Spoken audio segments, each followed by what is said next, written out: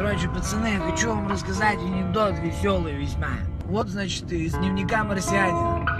1 августа прилетают японцы и с помощью своих нанотехнологий взламывают наш бункер за 8 часов.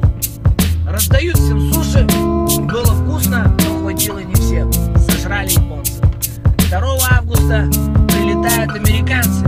С помощью своих цифровых технологий взламывают наш бункер за 3 часа.